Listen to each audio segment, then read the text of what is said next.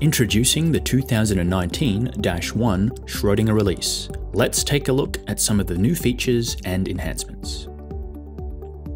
In continuing our improvements to molecular dynamics visualization in Maestro, we see a new panel for displaying trajectory snapshots. One simply chooses which frames to add as snapshots, whether it's the current frame you're on, as controlled by the trajectory player, a specific set of frame numbers, or stepwise, where you decide the nth frame. For example here, let's define every 100th frame in this trajectory of about 1000 frames, and then choose Add Snapshots. Now we see a list of snapshots and their corresponding frame number, which we can then easily display, and get a better sense of the overall motion and dynamics of the system. Among the new enhancements to the applications and tasks, the shape screening panel has been updated to include a new GPU shape screening option, enabled provided there is access to a dedicated GP-GPU host. While historically, most compound collections were comprised of already synthesized molecules topping out at around 20 million compounds, Shape GPU can make use of massive synthesizable libraries with well over 100 million compounds. Take, for example, Enamine's real database of 720 million compounds pre-filtered.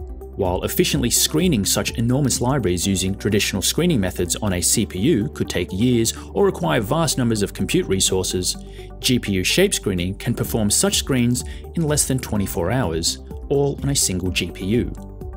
Also worth noting is that unlike other GPU-based screening methods, Schrodinger's GPU shape does not require expensive high-memory servers.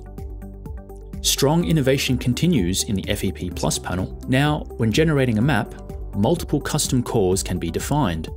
Either enter the smarts pattern of each core, separated by spaces, or simply select the cores in the workspace and then notice the smarts pattern for each core is automatically entered, separated by spaces. When defining receptor hot atoms, there's now an option to only use the sidechain atoms rather than the entire residue. This is useful for adding a flexible protein residue in the rest region for enhanced sampling, but where the backbone of the residue is rigid while the sidechain is mobile. Other useful enhancements include a new option to display pKi units in the correlation plot, the ability to edit experimental pKi values in the Overview tab, and displaying optional experimental errors in the Map tab. While over in the Analysis tab, there are additional columns with new edge convergence classifiers. These include energy convergence for the edge, ligand RMSD with respect to the protein, replica exchange efficiency or density profile. A good profile is one in which all replicas are sampled adequately in all lambda windows, and the classification of cycle closure hysteresis. Overall, these can be used to help highlight possibly unconverged edges worthy of further investigation. Also, expect ongoing refinements to these and new classifiers in future releases.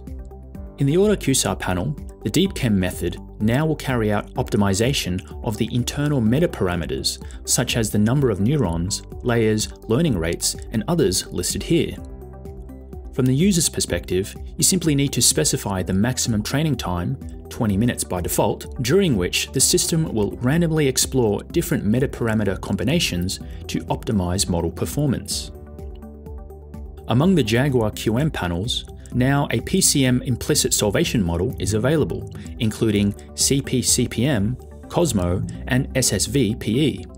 A great advantage of the PCM models is analytic dependence of energy on nuclear coordinates, which leads to smooth geometry optimization convergence over PBF. In the custom R group enumeration panel, a new option is available to perform partial substitution if multiple positions are defined with the same R With this option enabled, a new column appears with the ability to specify the percentage of positions with the same R group that are substituted in the enumeration. In the reaction-based enumeration panel, a new set of near drug-like properties is now conveniently available as the default filter criteria, thus ensuring good quality of compounds are returned from the enumeration.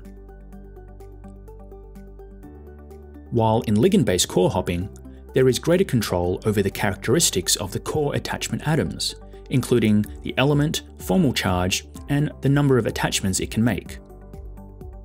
In Desmond Molecular Dynamics, the default relaxation protocol will intelligently switch to a membrane relaxation protocol if it detects a prepared membrane system has been loaded. Also, Desmond minimization jobs support running on GPUs. Finally, in KNIME, shape screening has also been updated to support GPU shape, these are just some of the exciting new features in the 2019-1 Schrodinger release. As always, for more information, visit schrodinger.com forward slash new features.